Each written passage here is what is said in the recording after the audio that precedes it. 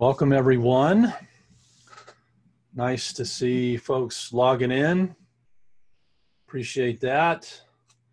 Get started here in a quick minute. Just got to give everyone a chance to kind of get their Zoom opened up. Good.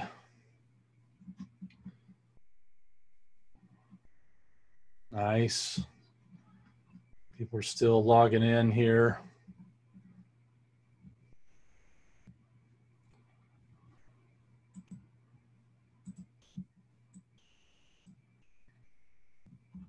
Okay, good. Well, hello everyone. This is the Net Effect and uh, episode 19 of the Career Conversations and Connections. Thank you all for taking time out of your day to join us for this wonderful biblically based webinar series. I'm your host, Robin Jones, Director of the ABF Career Alliance. And we have a special treat for you today. Um, before we get started, I'm going to do a little housekeeping. Uh, if you would be so kind, at the bottom of your screen, you'll see a little icon that says Q and A. If you all would open that, click it, and then type in your name and where you're from just to make sure it's working. I would really appreciate that. This is how we will communicate today. And it's open for everyone to see. Um, good. Hey, Kristen. Sorry, we had uh, we had to evacuate this week, and unfortunately, that took a little bit of a little bit of our time and efforts. But we're back home. Nice to see you, Conrad. Good. Wendy, wonderful. So, um, if you're having challenges with Zoom, make sure that you've downloaded the application so that you can participate in our Q&A today. And I highly recommend that if you do have a question, type it in the Q&A and we'll, we will do our best to get to that as we move along. We do have a wrap-up Q&A at the end as well. So we'd love, um, love to hear from you all. Um, and, and we're not going to be using chat. So uh, I, I'm not going to be engaging with chat, so just make sure that you know that. If you have any questions or comments, just put them in the Q&A so everybody can see them there. So, looks like everything's rolling. If you have any, um, if you have any questions about things, please be sure and put that in there, and I'll do my best to get to that. Uh, if you're struggling with something. Today, we have the privilege of welcoming a diplomat and executive with over 30 years of experience in international relations, global issues, and development financing. Ursula has worked in almost 50 countries around the world. Most recently, she served as Assistant Secretary General of the United Nations and Executive Director of the Board of the World Bank Group. In a time when most everyone is questioning how to engage and build trust with multiple stakeholders and complex issues to find harmonious solutions. We have the privilege of learning from someone who has done it all over the globe in some of the most challenging circumstances. So, without further ado, welcome, Madam Secretary General. Very happy to be with you all. So, we would love to learn about your journey and how you embarked on this incredible um, career that has taken you so many places and ha- you have done so many wonderful and marvelous things. So, help us kind of get up to speed on how you kind of got where you are. Actually, I wanted to be an inventor. Ah.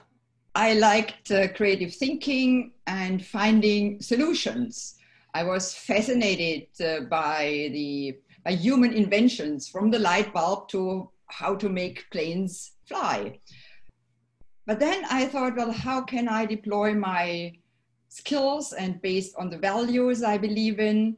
Um, I was interested in global issues, in um, international relations, and I thought, I want to be a diplomat. Good. Uh, how do you become a diplomat? Well, I studied economics and I also have a master's degree in public administration. And then I just applied for the foreign service of my country, which is Germany. Of course, there's a competitive uh, process, um, and I got in. And um, this was a wonderful opportunity to really contribute to humanity and to promote good. As a Christian scientist, um, we demonstrate um, in our lives intelligence and wisdom, good thinking, good speaking, good acting. And I thought as a diplomat, you prevent conflicts, you negotiate peace, you address global challenges in a cooperative way. And in these days, it's more needed than ever to address global challenges uh, together. Um, they are just too enormous um, given uh, the, uh, the impact of climate change that leads to droughts in many countries where people have to move because they cannot live off their land. Um, so addressing global challenges and building trust uh, is uh, something as a, a, diplomat does. And I uh, had the great opportunity to work in many countries, as you mentioned. And when I was at the board of the World Bank, which is the World Bank is a uh, development finance institution. So to to improve people's lives, um, you need also a lot of money, but you also need to have the right uh, programs in uh, governance, in renewable energy, um, to, to really have a sustainable development. In my last position, the last three years as um, Assistant Secretary General for Humanitarian Affairs of the United Nations, I was coordinating um, the international response to um, the human needs. There's more than 130 million people on our globe that are in urgent need of some kind of humanitarian assistance because they um, were either displaced, there was flooding, there was conflict, there's 70 million people on our globe being forcibly displaced. So to provide water, food, shelter, to really meet human needs and also fundraise um, for, for, uh, for, being able to provide um, the goods and services. Well, I wonder um, in these in these wonderful positions that you you you found yourself in and um, in this career journey, how how important has church been in that in that journey? I've always found inspiration, support, healing by going to church. Um, maybe I just share one example uh, with you, which is a profound um, proof that we are all blessed by going to church and attending church services and also being part of the church family. Um, I once I was in my diplomatic career posted from my home country to Washington, D.C., to the German embassy in Washington, D.C. And uh, wherever I worked, I worked in all continents, from Australia to, to um, United States. Um, so wherever I worked, I wanted to be a member of a Christian Science local branch church. So as soon as I had arrived in Washington, D.C., I looked around and attended a church and I applied for membership. But after four months of my tenure, usually a tenure is three, four years, I was deployed to Afghanistan by my foreign minister that was immediately after the terror attacks of 9 11. And I thought, I was really in fear to be deployed to a country that we all knew there was Taliban, there was 23 years of civil war. And a week before I went to Afghanistan, I was admitted as a member of that Deer Branch Church. And one Sunday, the members welcomed me after the service. I did not know many people there, but it meant so much to me to be part of the family. The Wednesday before I left for Afghanistan, the readings were on protection. And one quote from, I think it's in Proverbs, says, Trust in the Lord with all your heart, and the Lord's shield, is your shield if you trust in Him. And when I was in Afghanistan, one night we received from the intelligence service information that there was an imminent bomb threat and an imminent bomb attack against the German embassy, and we all lived on this compound. And I prayed so hard, exactly with this concept God being our shield and God being my rock, my fortress, my shield. And if He's all present and all power, there can nothing come near us or destroy anything. And I was suddenly so calm. And my, all, um, my colleagues felt this influence.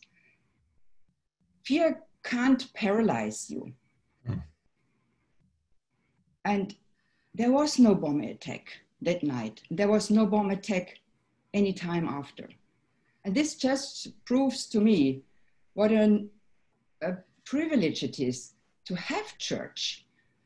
And I was also supported by this um, church, by the members of the church. I remember the first reader sent me an email at the time, um, and was sort of almost a, a, spiritual lifeline. And I'm so grateful for, for being a Christian scientist and being able to uh, to have services, church services, and going to church, whether they are in a church building or whether right now they are online. It's pretty remarkable, isn't it? I mean, you're brand new in town and and you're just getting rolling with the church, you know, a local church, and then you get shipped off, and mm-hmm. and yet you still feel that sense of love and support, you know, halfway around the globe, you know, with people that you've hardly known or, or hardly met, and yet there's a still there's that sense of fellowship that that um, it brings forward that healing. That's just that's such a remarkable um, remarkable story. Um, so, what issues um, and important issues have you been thinking about and addressing in your work? And and I think we'll we'll we'll start down a journey here to kind of look at some different places and things that you've you've you've worked in, but I thought these were really wonderful ideas to share with um, our audience. You know, given the enormity of um, human needs, humankind is longing for healing. You might, feel overwhelmed or even frustrated being an individual or a group of people to try to provide assistance. Huh? So what really helped me is to know that divine love meets every human need. And that God is the sustaining infinite, as Mrs. Eddy said. I always wondered why doesn't she say God is the infinite, the all? No, she says in our textbook, um, Science and Health with Key to the Scriptures, God is the sustaining infinite. That was a new revelation to me. Actually, I was sitting in a church in New York after I took this job at, with the United Nations, they have their headquarters in New York, and I was working out from there. One evening, I saw on the wall the sustaining infinite. I never realized this before. So, this helped me a lot uh, in my work to know it's just put aside personal responsibility, trust in divine love meeting every human need. And um, Mrs. Eddy is such a wonderful role model, and uh, um, and I sometimes seek guidance uh, in in the Bible and in our textbook when she says, "Soul has infinite resources with which to bless mankind." So of course there's human needs, but what is also important to see the dignity of the people, and they need a lot more than just physical food or water. So when I met I met hundreds or thousands of people traveling in the last three years to 45 countries, last three years alone, mostly wow. in Africa, but also in Asia, in Latin America. Um, and when I was sitting with people uh, looked in their eyes, uh, I really saw the dignity and God's love for each of his children. And God has not created a chaotic world, he maintains and preserves his creation. But we have a responsibility to not just lean back, but to really uh, practice um, uh, and apply uh, the divine laws of um, of uh, mind. Also, I, always turn, I very often turn to the one mind guiding me to find a solution for a a challenge. Well, obviously, um, that is a that is a concept that's dearly needed. I mean, even in our our own communities, we see the need for that just with conversations, with being able to uh, face the challenges that are, are so many of our cities in the United States are facing. Um, let's talk a little bit about how um, divine love, how you saw that in these two examples of meeting those needs. Yes, um, for instance, um, last year there was tremendous floods uh, that affected three countries in East Africa, Malawi, Zimbabwe, um, and Madagascar. And um, so these conflicts or, or natural disasters don't stop at a border. So first of all, those countries needed to cooperate and then the international community also needed to support their efforts given the enormity of um, the damage caused and the, the people uh, made homeless. Um, so um, to assess needs um, and to coordinate effective response needs um, listening and it's also listening to the local people. And that's what I, I really have learned to respect each individual and to also see their willingness to address um, issues even in conflict situations. How do you overcome some of the distractions that try to creep up when you're working in a place like that? I mean, I we're out here in California, and uh, uh, there's there was a fire here locally, and um, we had to evacuate and so it, it's pretty frantic because last year we had a fire north of us in a little town called Paradise, and within a matter of minutes, it was gone and in flames. So and then all so you get all you get all these different, you know, things that are happening. How do you how do you work through those distractions when you're trying to help people? For instance, what you see on the screen right now, um, the little girl there, she is a refugee. And there's a lot of human trafficking going on. Yeah. So knowing that there is evil um, out there that causes human suffering, should, just makes me know I cannot stand aghast at nothingness. I need to see the preciousness of this child, for instance, and parents. And I met a lot of women um, who told me about their plight.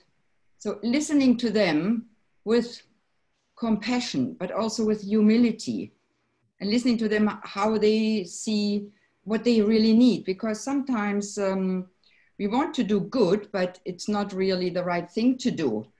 So the international community, which is a lot of uh, non-governmental organizations, a lot of United Nations organizations like UNICEF, the World uh, uh, Children's Organization, or the Refugee Organization. So they all um, are, have their mandates um, and want to do something, but to coordinate it in a, um, in a way that it has an impact and it really meets the needs of the people. So that's why you, um, I had the privilege to really being with them and listening to them. And you see, they they are looking forward, not backwards. And um, praying and working with right motives, our Father, Mother God will open the way. Well, how do you approach communication and and the uh, the topic of leadership um, when you're when you're out there in so many diverse countries with so many different type of people and um, social backgrounds and religious affiliations. Tell us a little about that. Well, um, your question is uh, who is my role model as a leader? Actually, I have two. One is Christ Jesus. Ah. Look at how he went out to meet the people. how he healed them, whatever their need was, whatever their status was, or their race, or their religious affiliation. So he never gave up. That's another uh, quality of leadership which Jesus Christ demonstrated. He didn't say that's too hard for me. Uh, so he never gave up, and he also knew where his strength comes from. He, uh, trusted in God, and um, so I'm also listening for for inspiration and guidance um, um, from from our only source um, that gives us spiritual power and protection. I was in conflict situations, um, talking to to armed uh, guys, um, and um, I never wore a bulletproof jacket.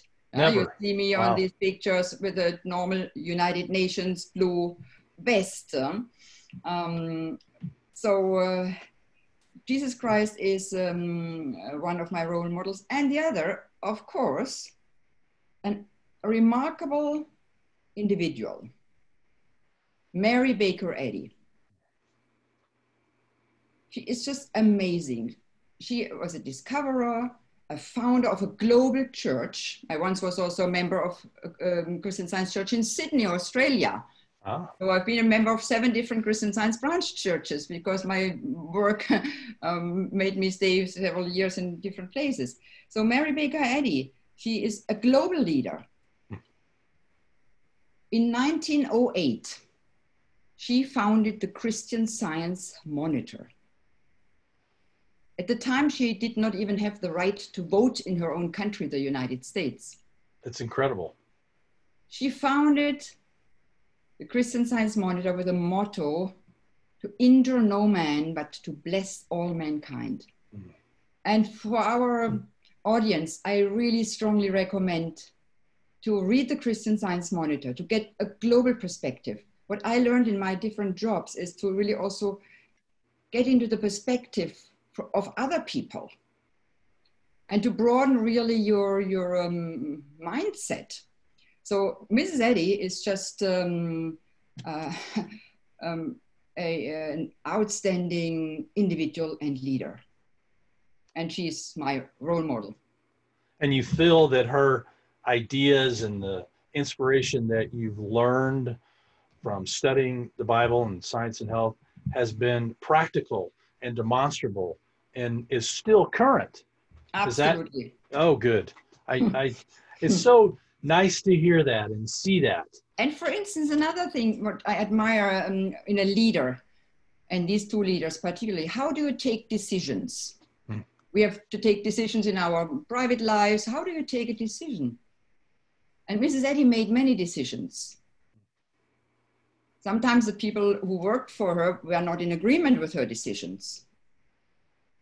So she always went to God and the one mind leading her.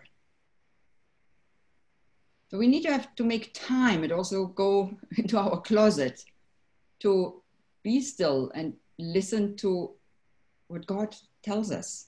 Sometimes we may not like it or don't understand it. Listen and follow the leadings of truth.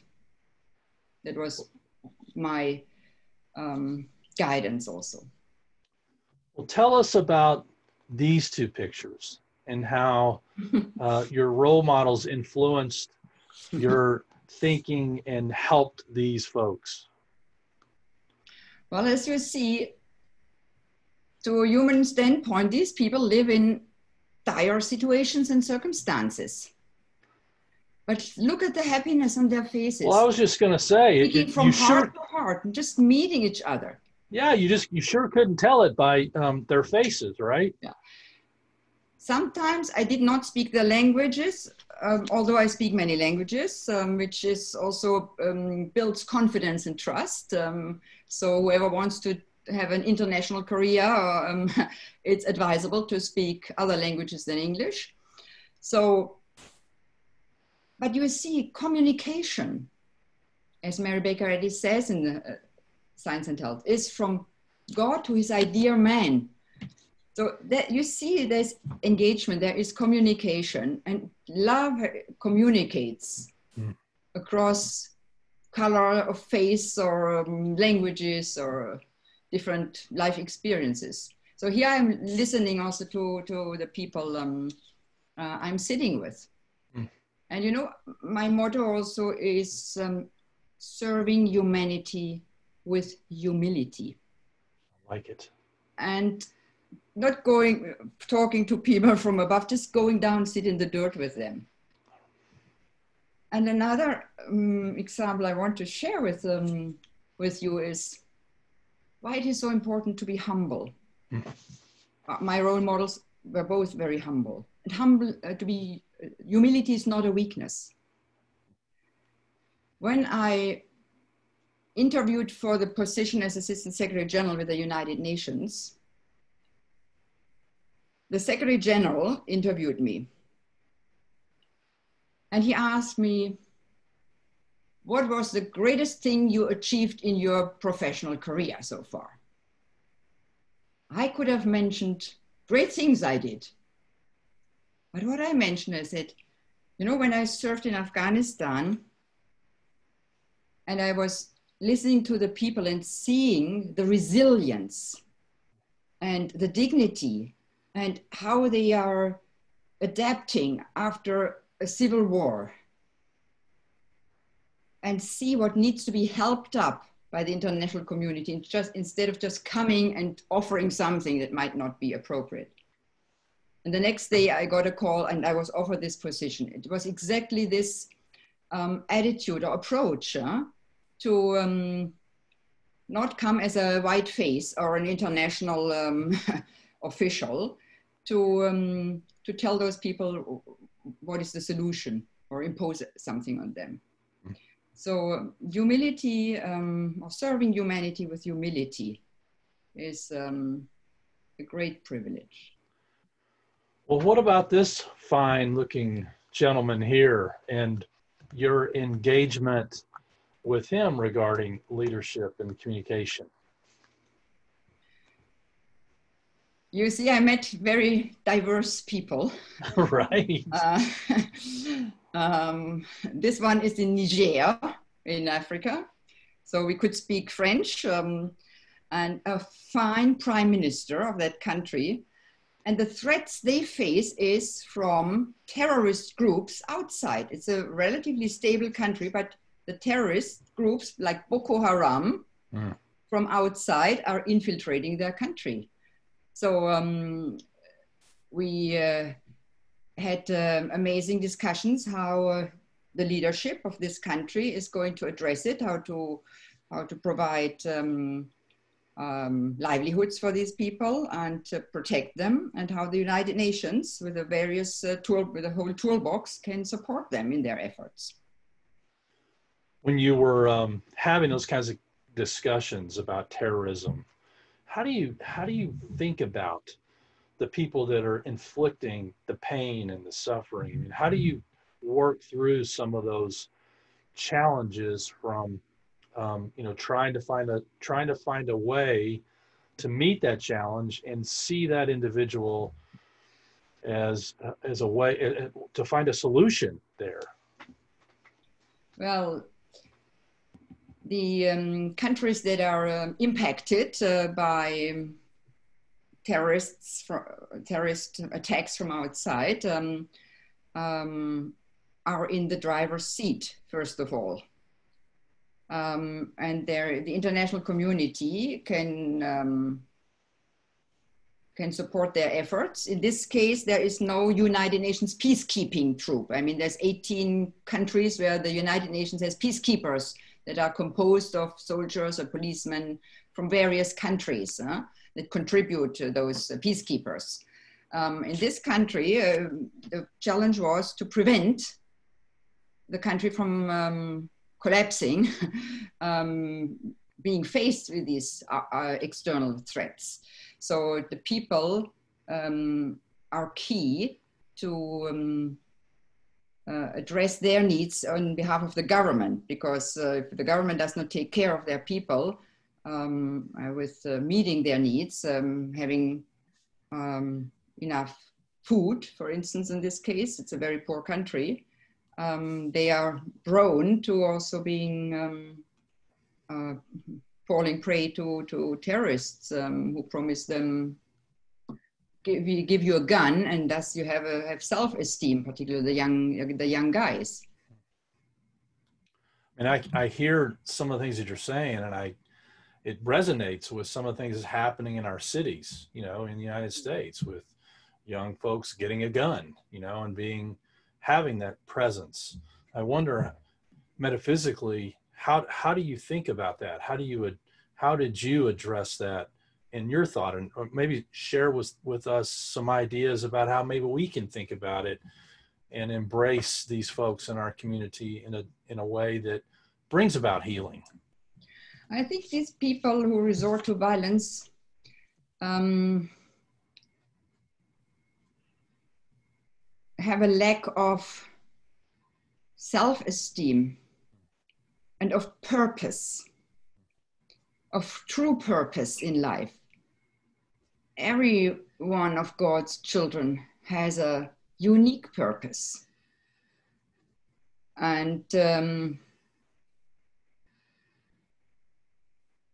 when we pray that each of God's children is has skills which can be deployed in a useful way um, it's a big, big um, contribution we can make. I like it. I like it. Well, here you are again in the middle of a group of folks, and I can see that you're listening. Mm-hmm. Tell us about this place. Yeah. well, um,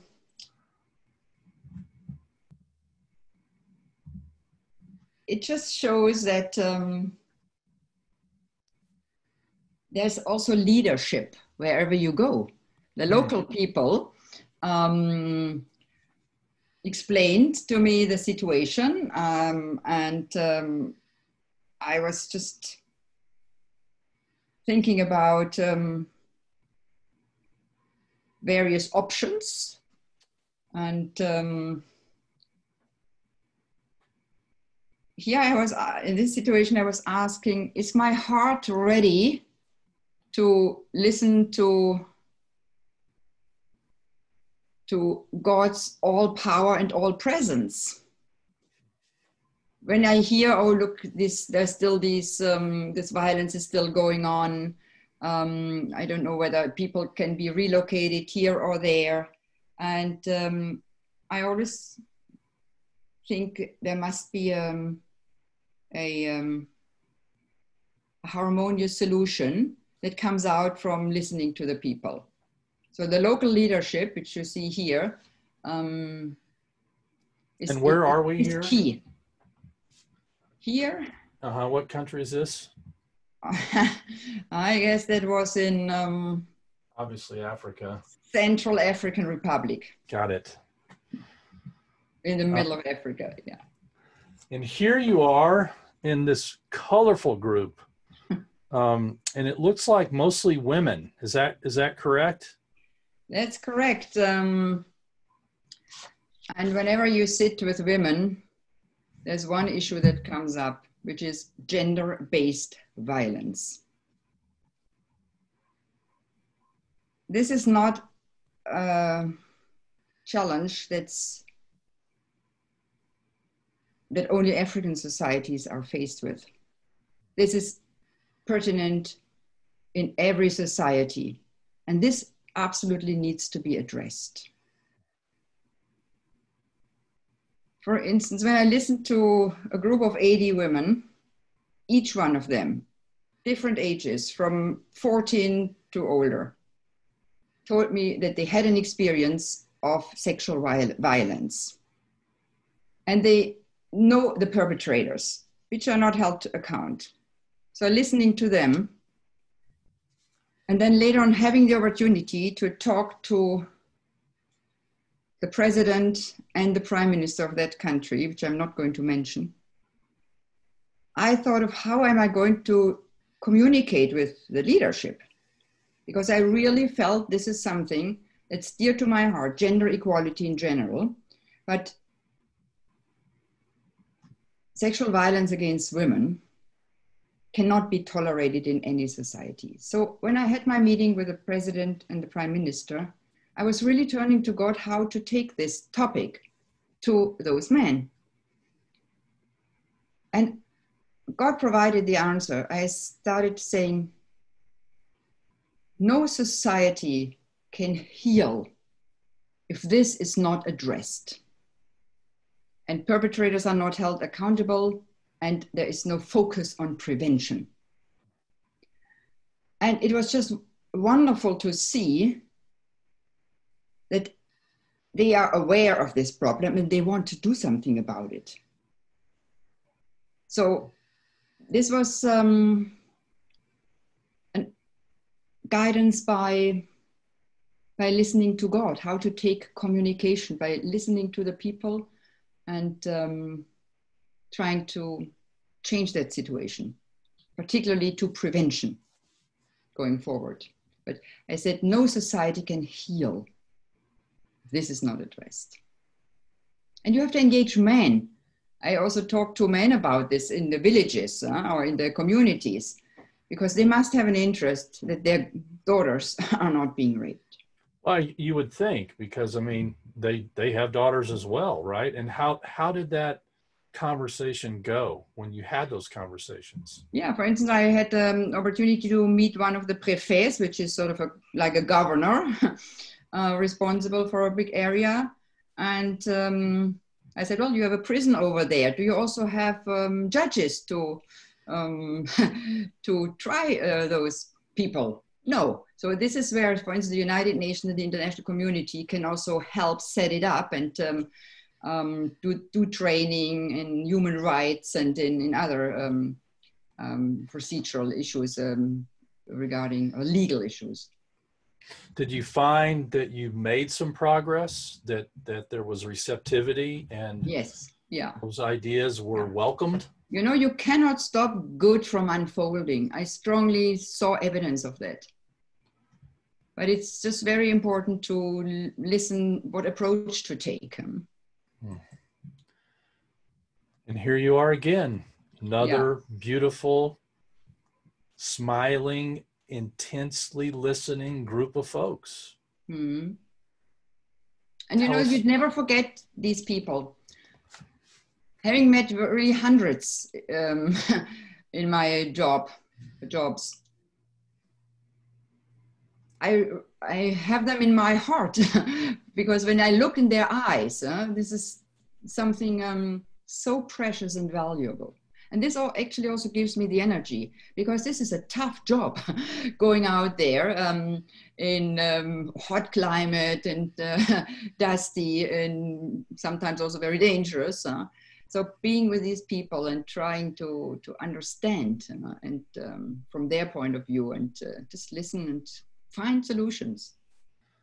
I love it. Well, um, your your top um, and one of the things we wanted to talk about and kind of transitioning uh, is the, the, the job opportunities that that might be out there and how you might find and prepare for an interview. Uh, so tell us a little bit about that. Well, um, to our audience, also, I think if you're looking for a job, you have to make it known. Mm. Talk about your talents. Um, your values. Be aware yourself of, of the values you stand for and the skills you, you have or you still want to, to develop. I'm a life learner.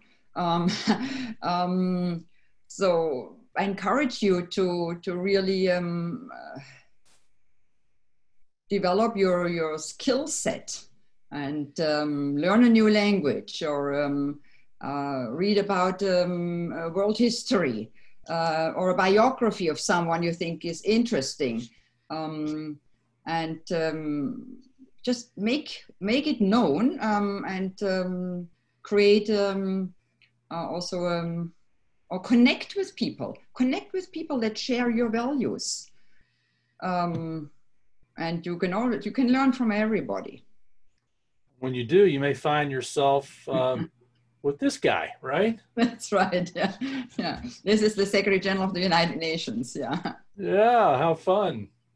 Yeah. So, um, as as you think about looking for a job, and and as you as you just said, you know, talking about yourself and being really unafraid to do so. Um, how important is it to find or have conversations with different types of people that you know that may not be in your field of interest, so to speak? Mostly, that's more successful to meet and connect with people that are not in your field.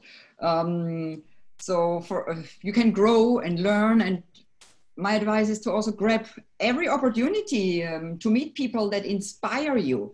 Um, for instance, I'm a member of a running club in New York.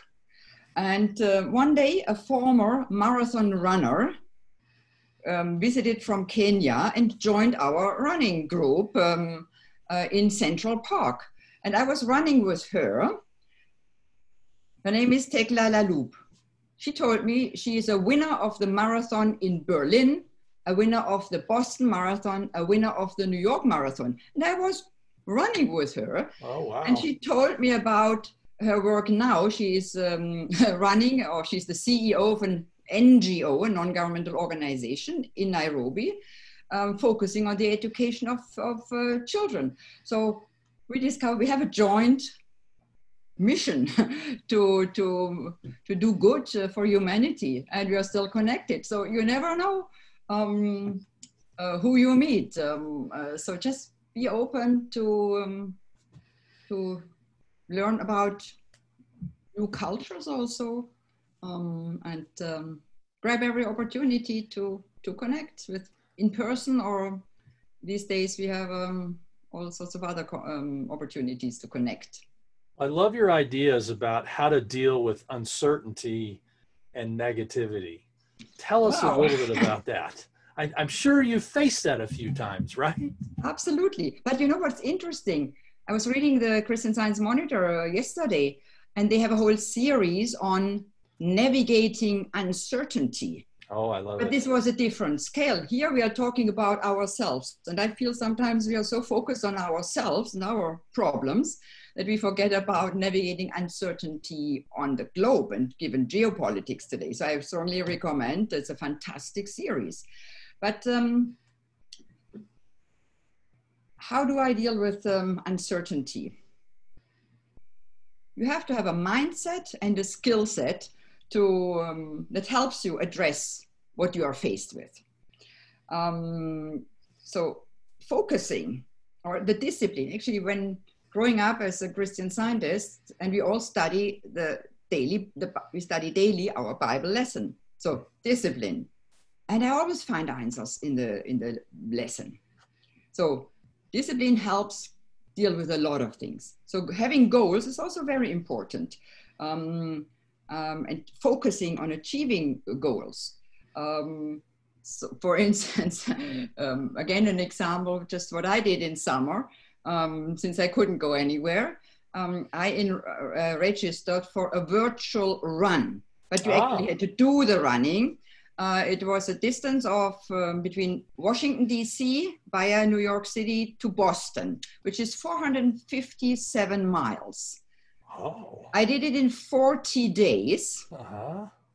And this was so much fun. So every day out running about 11 miles. Um, and so that was a goal. And um, do something and also enjoy what you're doing. Sometimes you have to have also fun um, and uh, or learning a language i started learning spanish it's one of the languages i don't know yet um, um, and i think it's a it's wonderful. So since um, six months i'm studying um, uh, spanish. And i learned so much. I'm listening to news in slow spanish latina. I learned so much about this um, latin america. Wow so there's just some ideas uh, how apart from praying daily for yourself um, is helping you um,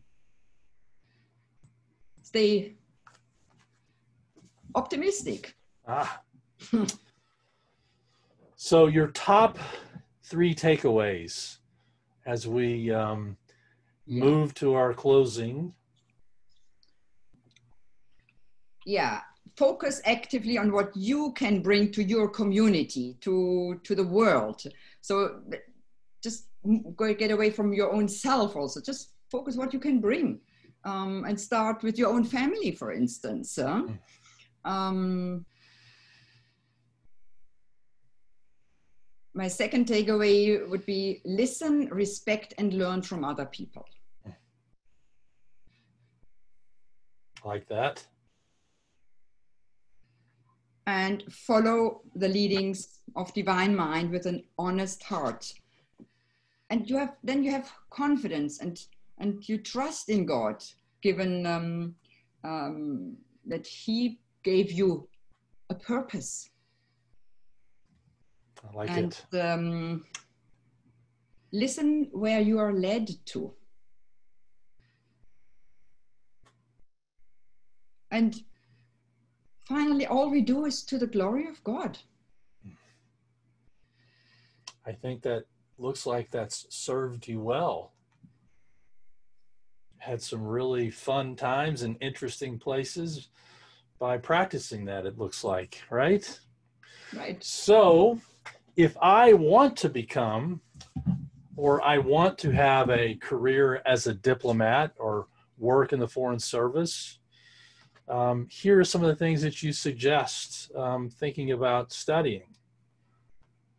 Uh, any ideas or comments about that? Well, if you want to study history, that's also fine. Um, but if you want to address uh, global challenges and negotiate, you also have to develop some personal skills. Uh, there's, of course, there's techniques how to negotiate, uh, how to build consensus. Um, um, and my favorite um, uh, resource um, is the Christian Science Monitor. I think these guys are doing amazing work. How to we, how can we think about global um, issues and learning about different um, um, experiences. I like their stories, um, and I just listened also to um, the webinar they put on on the Middle East. Their correspondent in the Middle East, just outstanding. And uh, if you want to join uh, the United Nations eight organizations, there's many of those. Um, you can go on the website. You can work for United Nations Children's Fund, World Food Program, um, United Nations Refugee Agency, um, or this big building, which is the so-called Secretariat in New York. Um, but once the organization um, I was uh, leading is, has 2,000 staff, um, uh, within the UN, but also field offices. So you can, um, whatever you, um, I, you think you should have finished some sort of a degree um, and work on your, your skill sets. It's remarkable to me when I was talking, we were talking earlier about all the different um, career pathways that are available. So, I mean, if you have an interest in something, there's probably a way that you can find a job in that or pursue that pathway um, through you know a, a, world organization like you said an ngo or a state department or many of the other uh, organizations that are out there. So it's it's just incredible to hear you talk about all the different opportunities there are. So you know if you do have that interest then i, I think there's certainly a way to, to open that up. But we have to figure out a way to to get to our final q&a and start to wrap things up. Now uh, if there, anyone has any questions be sure that you post it in the q&a but conrad had a question that i wanted to ask you and he says in what ways have you found success in praying to remove responsibility and trust that god is doing the work? Well, I, I, go back to my role models um, who had a lot of responsibility, much bigger than any of us has.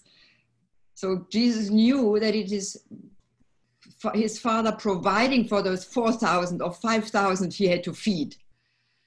Uh, um, that it's, if we really entirely trust in God's all power, all presence, we are led to a job. The job might find you.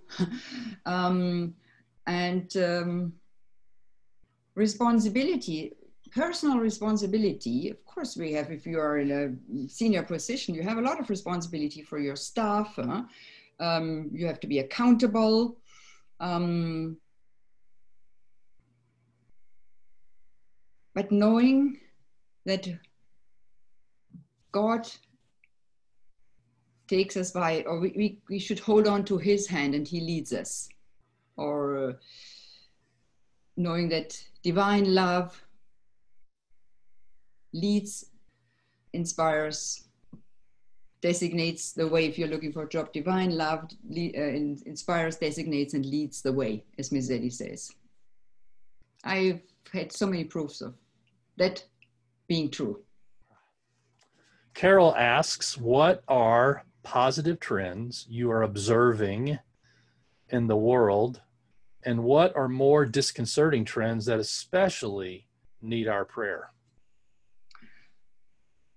What I really think is fantastic that the young generation is active to take action against um, the exploitation of the planet, to take care of our planet regarding all the climate action.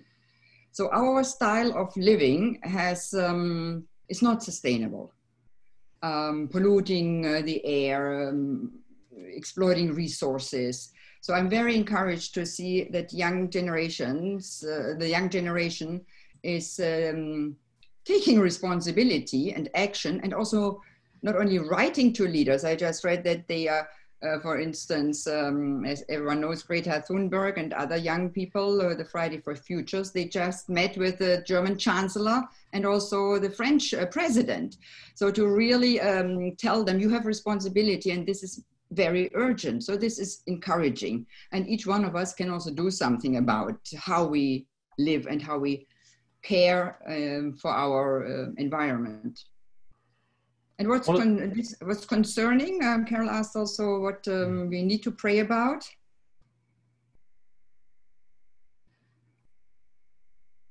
God respects his creation and each individual, and we also should respect each individual.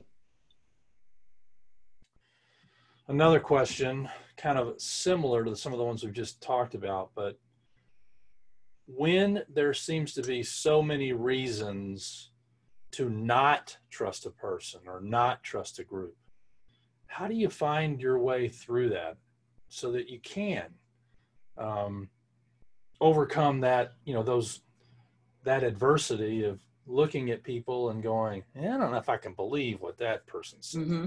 Right? Thank you very much for this question. It's very important because, I mean, behind this is the word corruption also, yeah? and uh, we have to expose evil and destroy it and name and address it. And this is very important. And um, not let, let it get away with it. So uh, that's uh, some, a lot of money is involved. Um, that's very, not only money, but also trust, building trust. Um, it's a lot easier to destroy trust than to build a trust. Uh, and a diplomat over years builds trust between people, between nations, between countries. Um, and uh, if uh, you feel you're lied at, uh, something's terribly wrong, this has to be um, addressed and exposed in a way that um, affects change of behavior. Thank you. Um, Sydney asked, the word intelligence has several meanings in the diplomatic and geopolitical environment, right? Yeah. Um, how do you apply intelligence, omniscience, insight, knowledge as concepts within your work?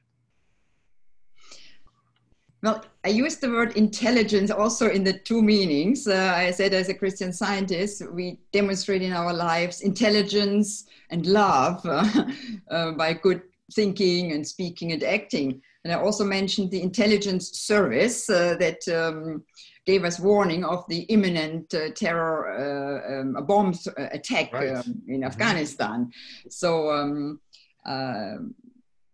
this this is what the the the question alluded to. Um, well, intelligence, um, meaning um, to, to collect information um, and um, uh, and base and analyze it. Uh, it's it's very important, but it's not what diplomats do. They are not in the intelligence uh, business, like in, uh, intelligence services but uh, it's very important to know of, of threats against um, a country, against um, embassies. Um. so I, I, rely on divine intelligence, which that example which I shared really proved. Um. right. Dennis asks, apart from looking up to Jesus Christ, would you encourage having human role models? That's a very good question. That brings me also to talking a bit about mentors. Um, I think it's very important to also have mentors. Um, um, I had I was mentored by others, and I was a mentor for others. Um, so someone to also share um, um, how to deal with certain challenges in your your your job, your career. Um, I had um, ambassadors I would consider my role model who, who, were leading and communicating in a way that was really. Um, I thought, well, I would like to to be like this. Um, but I also had other bosses where I thought, well, this is certainly the way I don't want to to lead people. Um, so I think it's um, good to have um, human role models. Um, after all, um, Mary Baker Eddy was uh, an outstanding individual trotting on this globe, so was uh, Jesus Christ. But um, I think it's very important to have role models, and I also encourage our listeners to reach out to uh, to people you think you can learn from. um, I can share with you. Someone called me up and said, "Well, like, can I have a? Um, can I meet you in the in the coffee shop? I would like to chat with you." Wow, I thought this is very courageous, and I encourage you to do to do that. Huh? Pick your mentor or reach out to someone you you think um, can offer you something and can guide you, and um, or even only listen to you. Or a team of mentors. You know, have have a group of people that you talk with. Um, question about racism and, and knowing that it's important that all racism is acknowledged as evil. How do you address race? How have you addressed racism in the places that you've been, whether it's in a church or schools or, um, you know, working in the different communities that we saw earlier? How do you destroy this type of animal magnetism? Particularly in the United States, that's um, an issue given also the history. Sometimes it really helps to educate ourselves about the history. Mm-hmm. Uh, um, what are the um, systemic um, um, causes um, that need to be dismantled? When I was in Africa and you saw, I did not realize I was white. Hmm. I was really colorblind I did not see these people as black. I saw them as precious individuals with their own individuality. And that's what we um, have learned in Christian science. And we have to do a lot of work looking at churches that are white. Um, or uh, in our own cities. I think this is one of the big challenges in this country. Um, any division, be it political, be it along race lines, um, um, can only be addressed if we know that God has created one creation and we are all made in his image and likeness. Thus, we are equal, equally important, equally loved by God. And I'm thriving or striving to to demonstrate to um, to meet people with this mindset, with this respectful um, attitude. Well, I appreciate that, and we're going to have to cut the questions off. There've been some terrific questions. I'm going to launch our poll, and I would really appreciate it if everyone could take a moment to fill out this poll. It's a few questions. It'll take you not more than a minute. Um, uh, your feedback is always vital and important to us. So please take a moment and, and fill out the poll that I've sent along.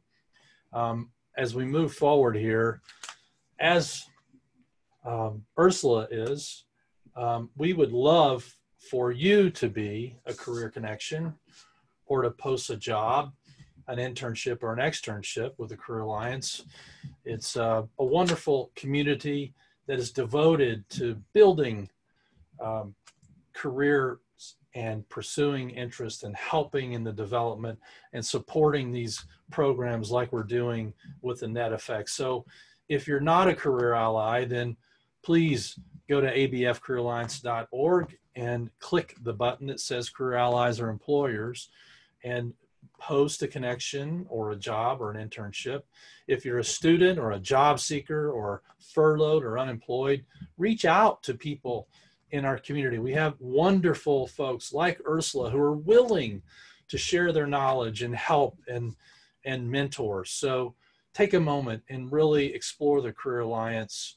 Um, if you'd like to connect with Madam Secretary General, we have a career connection and you can easily click on the link that I've posted and you can find that on the abfcareeralliance.org in any one of the sections, students, career allies, or job seekers. On the right-hand side, you'll find our Twitter feed and you just click on that link right there and we will help facilitate that connection. So please take advantage of the wonderful people that we have and visit with them. Um, we recently learned how our students are being impacted by unprecedented world events and would like to say thank you for the work, for, for your contributions to our Brotherly Love campaign. Gratitude is what our students have said and have been expressing for their Brotherly Love scholarships. And we're pleased to share that because of your generosity, the immediate need was met. But now that summer's arrived and we're beginning school again, we're finding more students applying for, for financial need. And we expect there will be an additional 250 to $4,500 per student uh, of, of new expenses that will be incurred. So please, if you have a moment, take a look at our Brotherly Love campaign. We'd really appreciate your support. I know our students would. Um, when you have a minute and you're in your social media, like us on Facebook at um, the Albert Baker Fund and on Twitter at Albert Baker, at ABF underscore connections, at Instagram at Albert Baker Fund, and LinkedIn ABF Career Alliance. I post connections and jobs there quite frequently and always wonderful stories that you can learn about. Ursula, thank you for this inspiring, wonderful session we had today on the net effect. You're incredible. The work that you've done it has been incredible. We are so blessed to have you as a part of our, our community and for, and for supporting this webinar series. It's been wonderful to be with you all. Well, I had a terrific connected. time. Yeah, that's right. So today we learned about casting our net as the masters talked about and has given us that requirement. So just remember, if you have any questions or would like more information, email me, robin at albertbakerfund.org. But as much as I hate to, we're going to sign off. So thank you all for joining us today. It's been a wonderful, wonderful session. Um, thank you again, Ursula, for your your kindness and your uh, willingness to share. And we are so looking forward to um, seeing you again soon.